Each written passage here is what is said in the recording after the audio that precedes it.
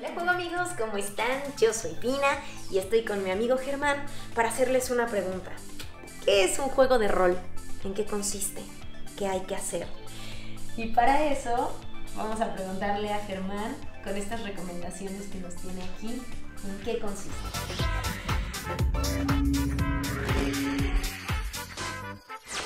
En este caso, por ejemplo, un juego de rol es donde tomamos el papel de un personaje.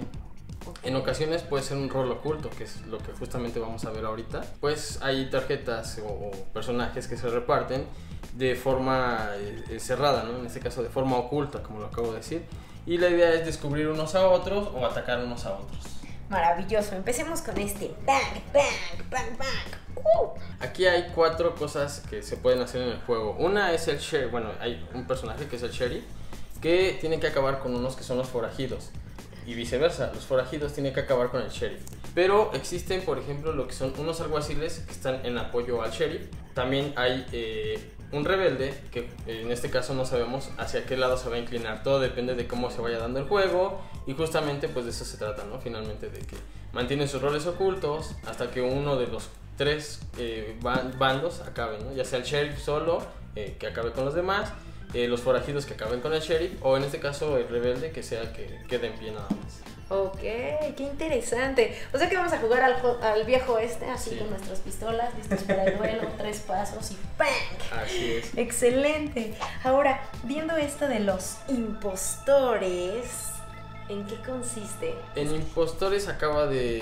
Eh, bueno, en este caso de morir o de fallecer, la persona que tenía una mansión y, pues los únicos que quedan o que los que se van a tratar de, de, llevar lo demás es pues todos los demás personajes que son el mayordomo, la ex, la amante, eh, la cocinera y todas estas tarjetas normalmente se dan ocultas. Eh, como lo decía, en este caso es un juego de, de rol oculto, de bluffing.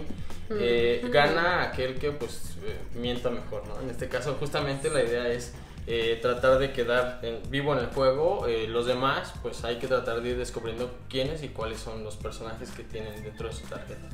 Ok, entonces aquí es convencer al otro de quien tal vez no eres. ¡Qué maravilla! Y además jugando con estos roles, viven en una mansión, son algo un poco más peculiar, me gusta, me gusta mucho.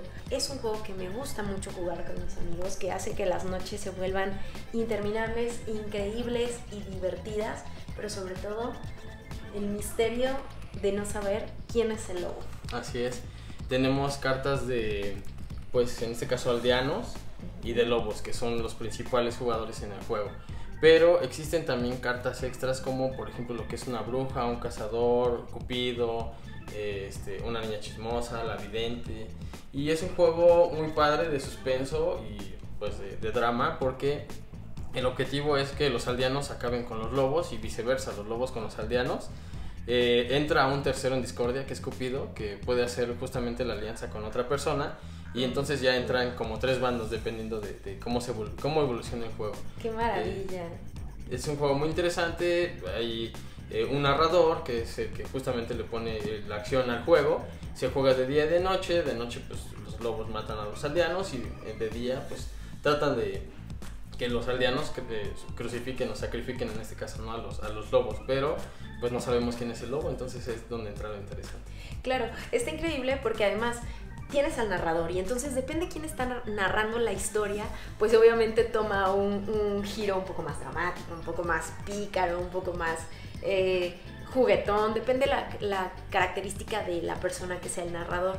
Y por ejemplo, cuando te toca ser lobo, pero eh, tú eres el, que está decidiendo a qué aldeano asesinar y de pronto Cupido, ¡pum!, arruina las cosas y hace una alianza contigo y otro aldeano y entonces ya no quieres exterminar a los aldeanos.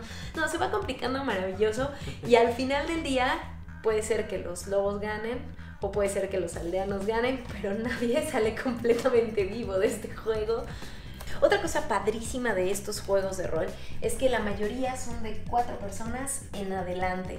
Entonces hay un sinfín de posibilidades para no excluir a nadie en tu reunión, invitarlos y jugar este juego increíble.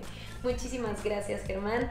Y bueno, recuérdale a nuestros juego amigos la página de internet donde pueden conseguirlos. Claro, es www.beyondgames.com. También tenemos lo que es Facebook, que es eh, Games Y estamos en Instagram también o Twitter, nos pueden encontrar. Excelente. Pueden encontrar todas las editoriales que trabajamos, editoriales como Asmodee, como Fantasy Flight, Edge Entertainment, eh, Ravensburger y Repos, entre otras. También lo pueden encontrar en la casa de la educadora, en cualquiera de sus sucursales. Y bueno, en su tienda favorita, Beyond Games está ahí para ustedes.